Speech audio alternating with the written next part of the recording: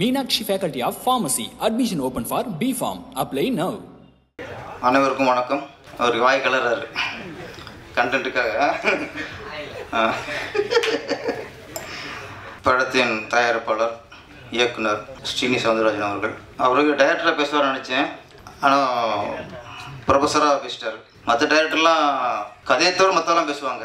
இவர் கதை மட்டும் பேசல வேறு எதுவும் பேசலை. இந்த சினிமா கற்றுக்கல அதுலேயும் தெரிஞ்சு வச்சு எங்களும் கதை சொல்ல மாட்டாங்க சார். ஆமாம் சஸ்பென்ஸாக வச்சுருப்பாங்க. நீங்கள் வெளிப்படையாக பேசிட்டீங்க. ஆனால் இது இது வெளிப்படையாக பேச வேண்டிய மேட்ரு எனக்கு கன்வே ஆகணும்.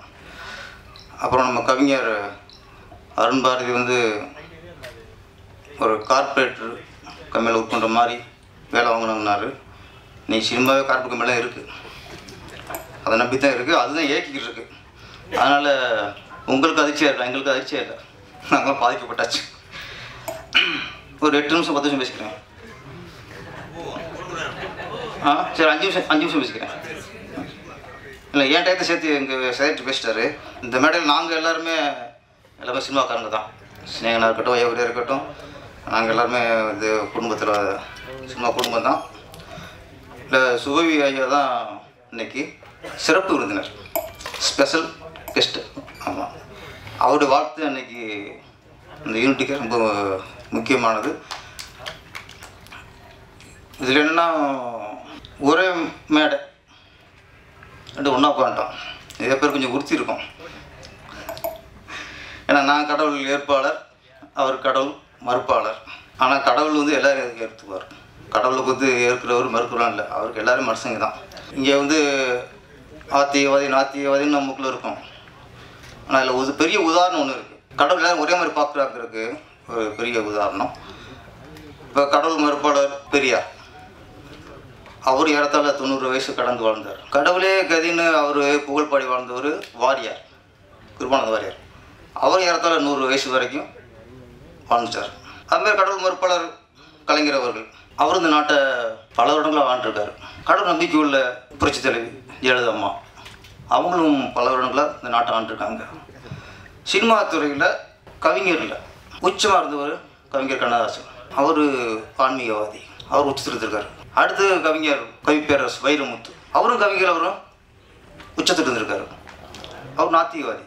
கடவுள் மறுப்பாளர் தான். அவர் உச்சத்தில் இருந்திருக்காரு அப்புறம் சூப்பர் ஸ்டார் ரஜினிகாந்த் ஆன்மீகவாதி.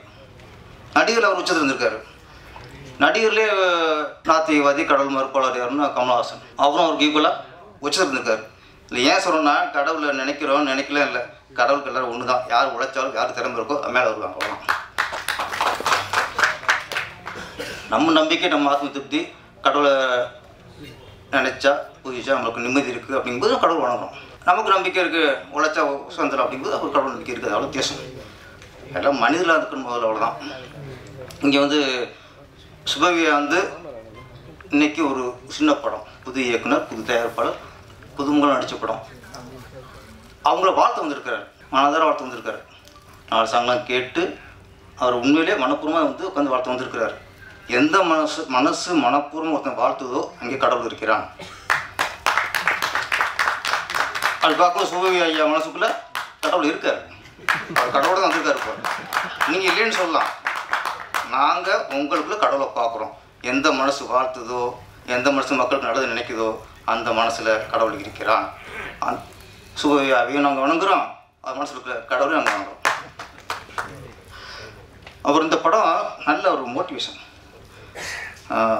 இயக்குனர் ஸ்ரீ அவருக்கு நன்றி தெரிவிச்சுக்கணும். ஏன்னா இந்த காலகட்டத்துக்கு இப்போ உள்ள மாணவர்களுக்கு என்ன தேவையோ அது சொல்கிற படம். மாணவர்கள் மட்டும் இல்லை பெற்றோர்களுக்கும். இந்த காலகட்டத்தில் மாணவர்களும் பார்க்கணும். இன்றைக்கி நிறைய மாணவர்களுக்கு மிக- மிகப்பெரிய மன அழுத்தம். ஒன்று பெற்றோர்களால் வருது இல்லை ஸ்கூலில் வருது டீச்சரால் வருது. ரெண்டு தான் அவங்களுக்கு மன அழுத்தம். அதுக்கு இன்றைக்கி பசங்களாம் மன அழுத்தம் வர காரணம் நிறைய காரணங்கள் இருக்கு. ஒன்று இப்போ ஒரு சி- சின்ன விஷயம். அப்பா அம்மா படிக்காமல் இருந்து நான் சொல்கிற ஒரு நாற்பது ஐம்பது வருஷத்துக்கு முன்னாடி அப்பா அம்மா படிச்சிருக்க மாட்டாங்க. விவசாயம் இருப்பார் ஏதோ ஒரு நெசவாளராக இருப்பார் மண்மனை செய்கிறவராக இருப்பார். ஏதோ ஒரு அந்த பிள்ளைய படிக்கும்போது அதுக்கு எந்த மன அழுத்தமும் இல்லை. அது என்ன படித்தோ எப்படி வந்துச்சோ அது ஒரு காலேஜ் போனதுக்கு அப்புறம் அப்புறம் தான் ஒரு மோட்டிவ் வரும். அப்புறம் தான் இந்த துறைக்கு போனால் நல்லா இருக்கும் அது ஒரு டிசைட் பண்ணி போடுவாங்க அதுக்கு மன அழுத்தமே இல்லை. என்னைக்கு ப படித்த பேரண்ட்ஸ் வந்ததுக்கப்புறம் தான் தாங்களும் என்ன படிக்கணும் அப்படின்னு அவங்க அப்பா அம்மாவுக்கு ஒரு ஆசை வந்ததுக்கப்புறம் தான் பசங்களுக்கு மன அழுத்தம் வரும். டாக்டர் ஆகணும். இப்போ நான் சாங்கில் இருந்துச்சு எல்லாருமே டாக்டர் ஆகணும் எல்லாரும் கலெக்டர் ஆகணும்னா எப்படி ஆக முடியும்? எல்லா பேரண்ட்ஸும் தான் டாக்டரை குழந்தைய பார்க்க ஆசைப்பட்டால் முடியாதுல்ல. குழந்தை போக்கில் விடணும். அது இன்னைக்கு அது அதுதான் இன்னைக்கு நிறையா பசங்களுக்கு மன அழுத்தம் வருது. இன்னொன்று பெட்ரோல் வளர்க்கும்போது என்ன பண்ணுறாங்க சிலர் என்ன பண்ணுறாங்கன்னா நம்ம ஒரு குழந்தைய வளர்க்குறோம் சின்ன வயசு சின்ன வயசு போது அப்பா வந்து குழந்தை விளையாடுவார். என்ன விளையாண்டாலும் அது தோக்குறது அப்பனா தான் இருக்கும். குத்து குத்துனா அப்போ போய் விழுவான் போய். என்ன விளையாட்டு விளையாண்டாலும் குழந்தைக்கு முன்னாடி அப்போ தோத்துட்டே இருப்பான். ஆனால் ஒரு ஸ்டேஜில் அந்த குழந்தைகளுக்கு வந்து அப்பா உண்மையே தோத்துட்டாரு அப்பா முட்டாளு அப்பா கோழி நினச்சிடக்கூடாது அங்கே தப்பு பண்ணுறோம் நம்ம ஒரு ஸ்டேஜ் என்ன பண்ணுறோம் குழந்தை படிக்கும்போது அது அப்பா என்ன பண்ண லூசுமா பேசுங்கிறது. இந்த காலத்து பசங்க சொல்லுது அம்மா உனக்கு ஒன்றும் தெரியாமல் சும்மா இருமா அப்படிங்குது. அப்போ அரைஞ்சிடணும். என்னைக்கு என்னப்பா என்னப்பா லூசுமா பேசுகிற அப்படின்னு சொல்லும்போது அப்போ உஷாராயிடணும். நீங்கள் அதை ரசிச்சிங்கன்னா முடிஞ்சு அதுக்கப்புறம் அது நல்லது கெட்டதை நம்ம பகிர்ந்து பகிர்ந்துக்கிற அளவுக்கு அப்பா அம்மாவுக்கு அறிவில் நினச்சிரும். இதான் மேட்டர் அது ஒரு அதுக்குள்ளே ஒரு மனசில் மனத்தில் எதுவும் வரும்போது அம்மாட்ட சொல்லணும் அப்பாட்ட சொல்லணும்.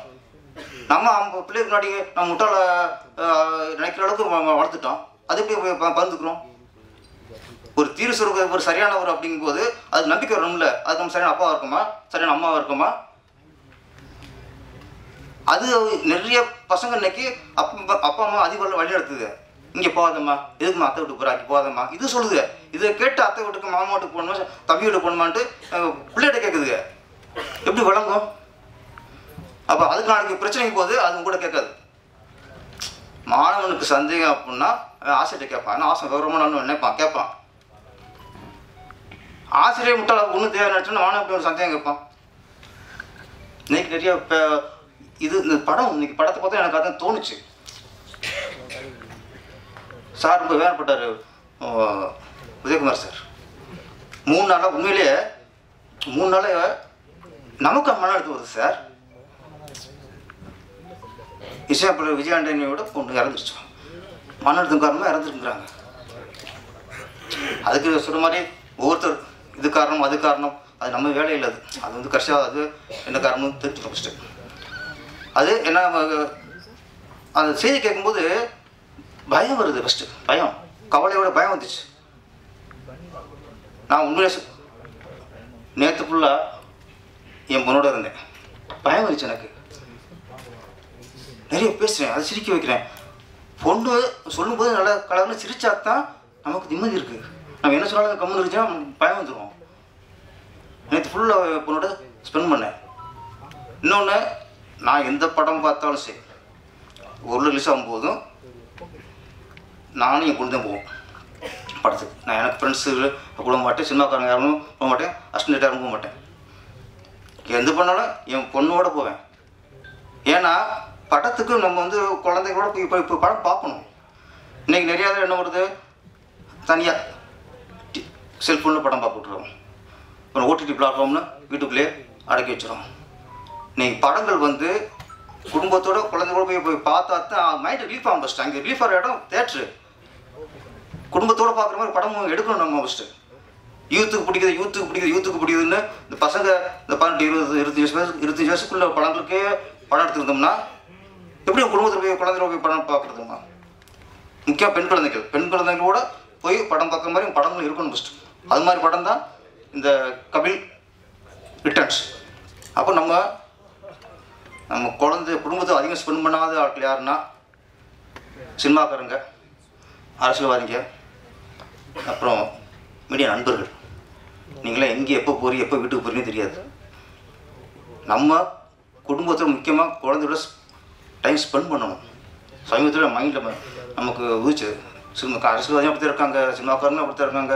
மீடியாக்களும் அப்படி தான் இருக்காங்க. இது நம்ம குடும்பத்தோட ஸ்பெண்ட் பண்ணணும். பசங்கள் மனசில் என்ன இருக்குங்கிறத நம்ம ஒரு அங்கேயே ஃப்ரெண்ட் ஆயிடணும். கேள்வி கேள்வி வைக்கணும். அதுக்கான படம் கபிட்டன்ஸ் கபிட்டன்ஸ் வந்து மிகப்பெரிய ஹிட் ஆகணும்.